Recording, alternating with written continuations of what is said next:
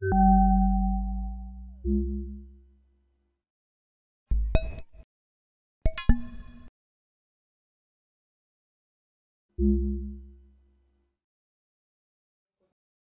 surtout, alors c'était quelqu'un qui était euh, de la très grande bourgeoisie parisienne, d'une famille d'éditeurs prestigieuse, euh, d'une fortune. Et elle était déjà complètement atypique et anticonformiste, avec un franc-parler, une liberté, une liberté de, langage, d'opinion.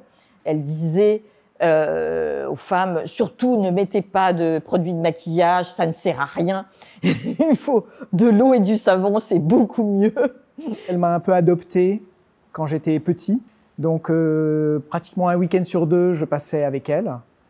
Et donc on allait euh, au cinéma, on allait voir des expositions, on allait chez des amis.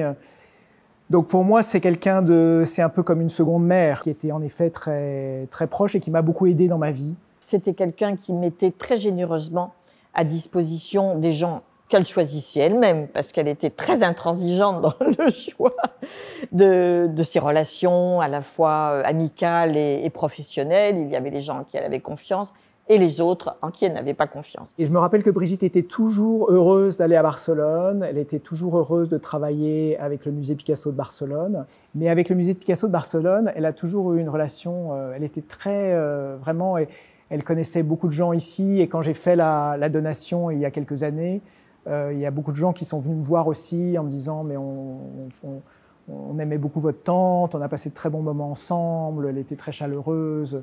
Elle était grande, grande fumeuse, elle ne mangeait rien, euh, sauf à Barcelone où elle trempait euh, le, le, jambon espagnol dans son café con leche.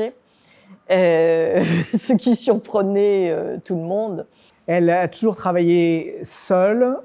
Euh, elle n'a jamais voulu se mettre à l'ordinateur.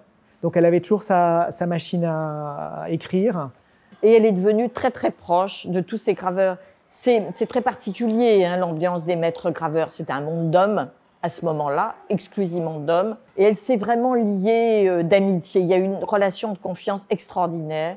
Euh, avec tous ces gens qui avaient côtoyé Picasso. C'est quelqu'un qui travaillait énormément, le travail c'était très important pour elle.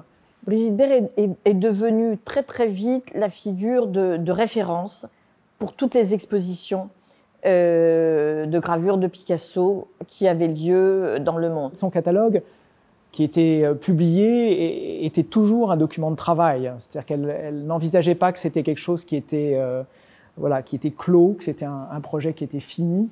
Euh, c'était quelque chose qui était toujours, euh, comme on dit en anglais, in progress. Euh, elle a aussi découvert des erreurs qu'elle a fait. Elle a publié des erratums sur des gravures très importantes.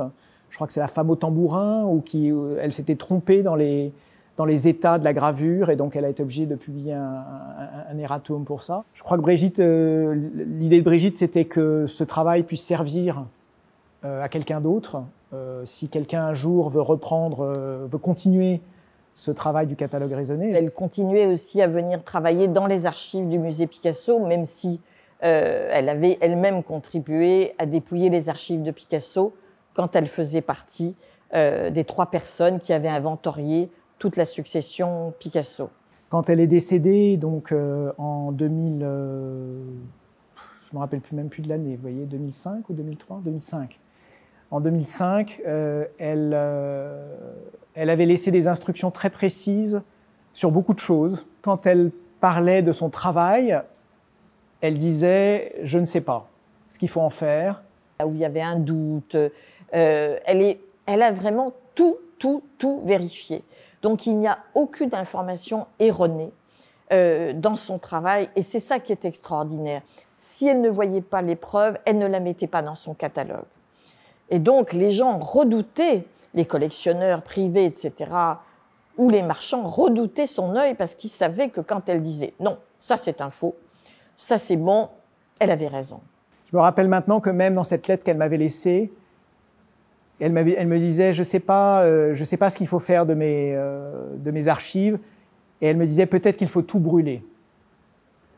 Et je suis content aujourd'hui que j'ai pas suivi ses conseils, et je pense qu'elle serait aussi contente que j'ai pas suivi ses conseils et que les archives sont ici et qu'on puisse les consulter et que, voilà, et que vous puissiez travailler dessus. Moi, ça me fait très plaisir. C'est quelque chose de vivant. Et, euh, et pour elle, je pense que c'est ça ce qui est important. C'est quelqu'un qui travaillait énormément. Le travail, c'était très important pour elle. Euh, mais c'est une matière vivante, c'est quelque chose qui doit, être, euh, qui doit continuer à être exploité, qui doit continuer à inspirer euh, des, nouvelles, des nouvelles générations qui veulent travailler sur l'œuvre de Picasso. Donc je pense que c'est vraiment une bonne, une bonne maison. Et elle aurait été très heureuse.